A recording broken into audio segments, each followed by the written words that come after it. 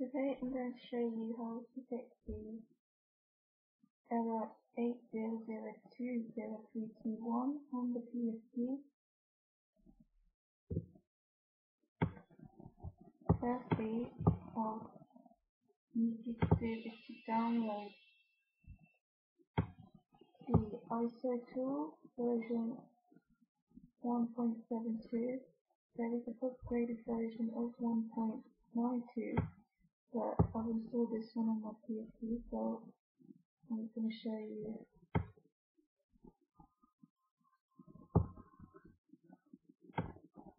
Let's see.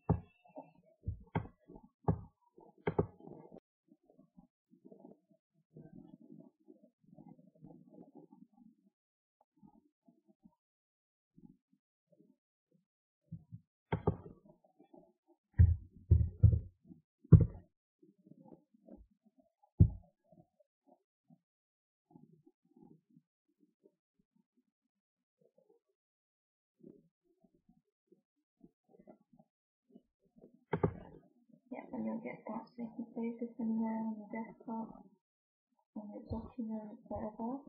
You don't have to like I've already saved it. Okay, so it's going to be here. So just click on that.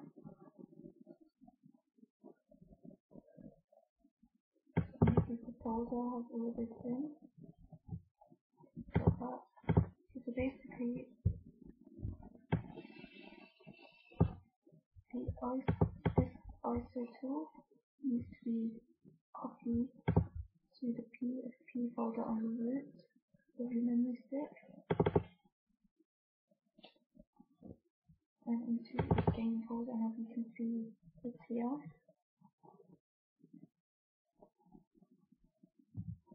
Okay, that's done, I'm going to show you an example of a game which shows this error. And this method can be used to fix any error listed.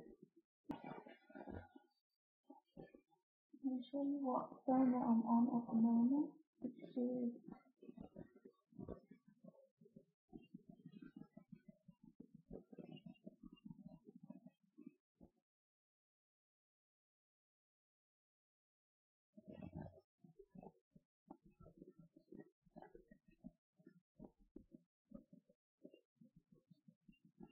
I'm give you an example of the thing on here that does not work.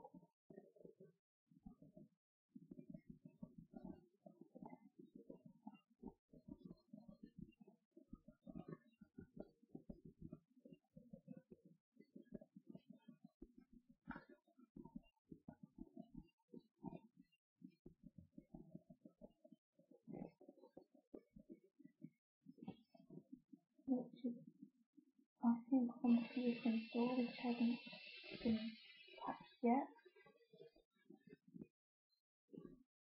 So it with that screen and going to see what says is the engine that we started.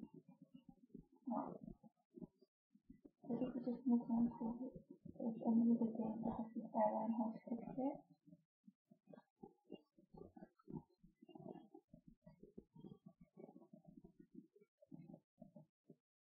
I will just click on the alpha tool here, the select button,